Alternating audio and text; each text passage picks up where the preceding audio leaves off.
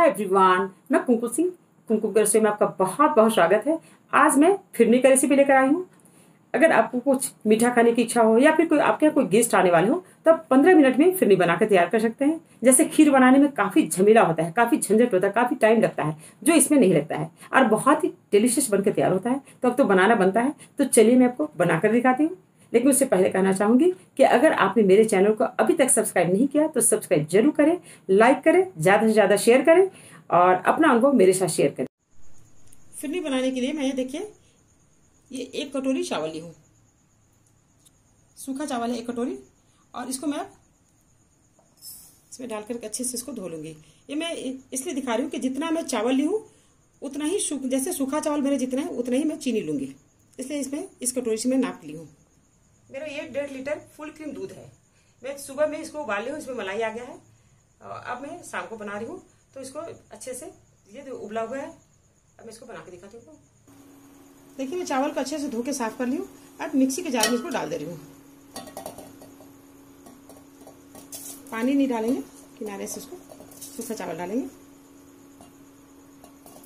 देखिए, पानी मेरा बच गया इसको हटा दे रही हूँ मैं। अब मिक्सी के जार में मैं दूध ऐड कर दे रही हूँ। इसका मैं पेस्ट तैयार कर ले रही हूँ। पेस्ट लेकिन पूरा महीन नहीं करना है, दरदरा इसको पीस के तैयार करना है। देखिए, इसका पेस्ट इस तरह से दरदरा पीस के तैयार कर, देख सकते हैं बहुत महीन नहीं करना है और मोटा भी नहीं रखेंगे, हल्का दरदरा देख सकते हैं थोड़ा दूध उबलने लगा है। इसको इस तरह से चलाते रहेंगे। केसर के कुछ धागे इसको मैं डाल दे रही हूँ। इससे इसका कलर भी अच्छा आएगा और टेस्ट भी। देखिए, दूध को उबलते हुए दो तीन मिनट मेरा हो गया। अब इसमें चावल जो पीस के तैयार किया उसको ऐड कर देंगे। इसको चलाते भी जाना है।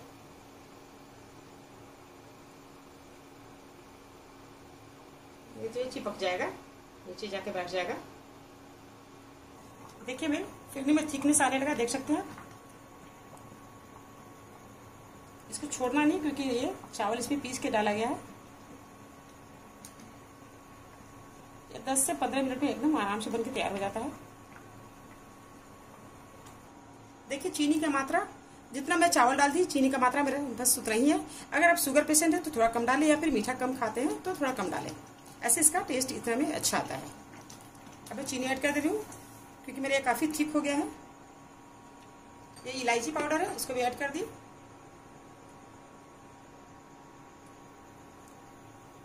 देख सकते हैं, काफ़ी थिकनेस आ गया है। ये ठंडा होकर और ठीक हो जाएगा इसी तरह से इसको धीरे धीरे चलाते रहें। फ्लेम को भी मैं कम कर दी। और एक चीज़ आपको कहना भूल गई थी कि इसमें जब भी आप, ये फिरनी बनाएँ या फिर खीर बनाते हैं तो उसमें बासमती चावल का इस्तेमाल किया जाता है।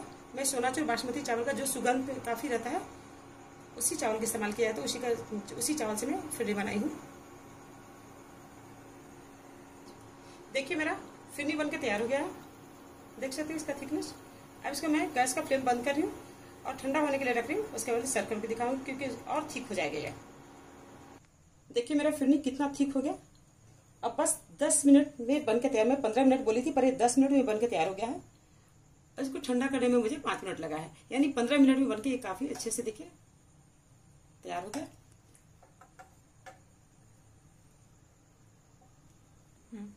अब मैं थोड़ा इसमें ड्राई फ्रूट्स ऐड कर दे रही हूँ। बादाम, काजू, पिस्ता। देखिए मेरा फिरनी बनके तैयार हो गया। अब देख सकते हैं कितना खूबसूरत लग रहा है और काफ़ी खुशबू इसमें आ रहा है, क्योंकि ये बासमती चावल से तैयार होता है और बहुत ही जल्द बनकर तैयार होता है। तो अगर आपको मेरा वीडियो पसंद आए तो इसे लाइक करें, ज़्यादा से ज़्यादा शेयर करें। मेरे चैनल को सब्सक्राइब नहीं किया तो सब्सक्राइब ज़रूर करें, कमेंट करें। तो मिलता है अगले वीडियो में।